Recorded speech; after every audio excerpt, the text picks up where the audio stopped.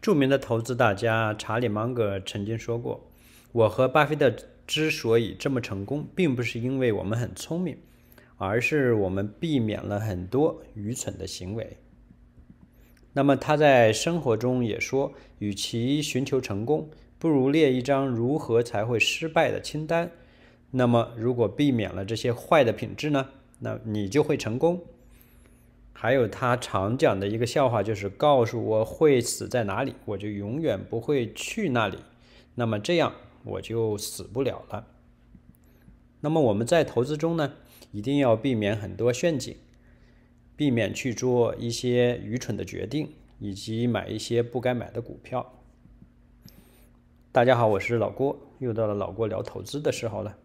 今天的主题是千万不要 time the market。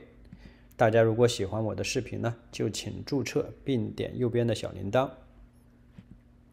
Time the market 在中文中叫择时，是指投资者尝试通过短期内预测市场的走势，来选择最佳的买入或者卖出的时机。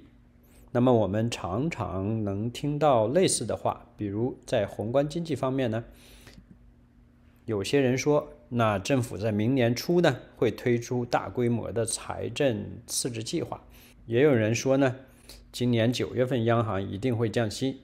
那么我们在九月前呢，一定要买那种一降息就会升的股票。那么还有人说，下个月公布的 GDP 数据会超出预期。那么我们一定要下个月之前呢，去行动。那么在微观方面呢，有人就说。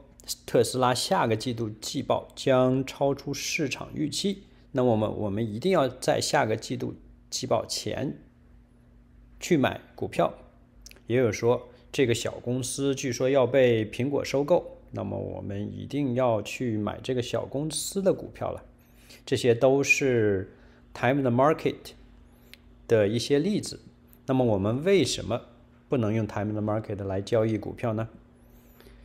据诺贝尔奖得主的约瑟夫·史蒂格利兹指出，据他统计，经济学家预测经济走向的准确率通常只有三到四成。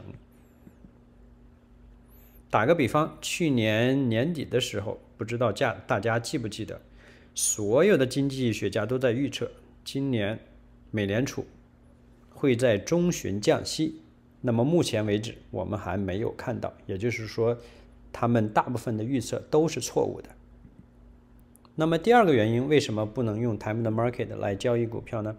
因为如果你猜中了这个市场的走向，那么类似你的很多人可能也猜中了。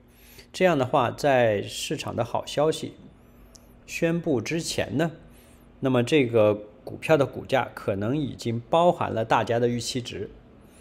那这样的话，即使好消息宣布，那么股价有时候不升，反而会降。这种现象非常非常的普遍。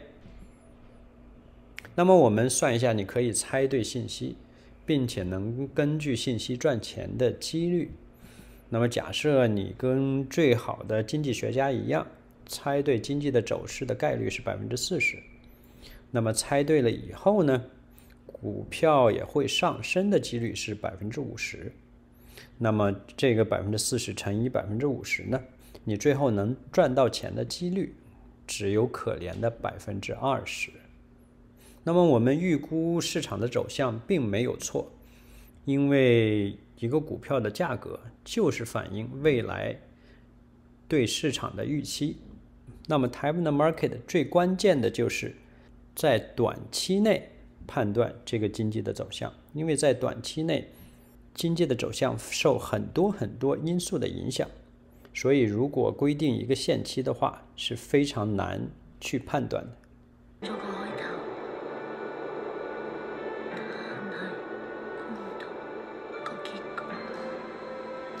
我给大家以前用两期的时间讲过 oxysm 这个股票。这个股票我是在三十多块钱买的，现在已经到了八十多，而且它目前也是我的重仓，因为我觉得它未来的升继续升值的潜力非常非常的大。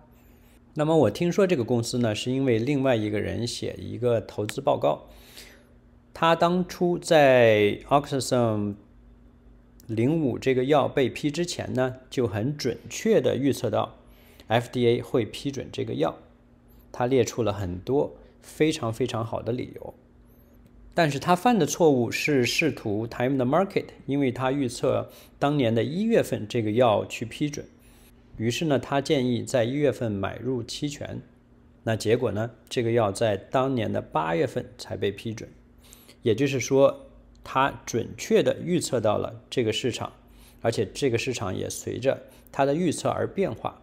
但是因为他想去 time the market，最后导致他的投资策略失败。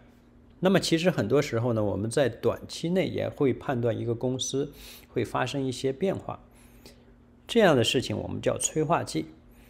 但是别忘了，催化剂不是反应剂，一定要注意安全边际。也就是说。即使有催化剂，你也要在这个公司的股票的价格低于它的实际价格的时候去入手买入。那么，即使这个催化剂短期不能发生，只要你长期持有这个股票，你的策略也是非常正确的。那么有人就说了，去哪里去找这些既有催化剂又有安全边际的股票呢？其实这类的股票确实非常非常难找。但好处就是，即使我们一年只找出一到两个这样的股票，那就足够了。那这种情况呢，就要求我们一定要避免很多很多的错误，淘汰掉很多很多不适合我们投资的股票。好了，老郭聊投资就聊到这里。老郭聊投资主要是想跟大家 探讨一下投资股票的基础知识。如果大家喜欢我的视频，就请注册，多谢。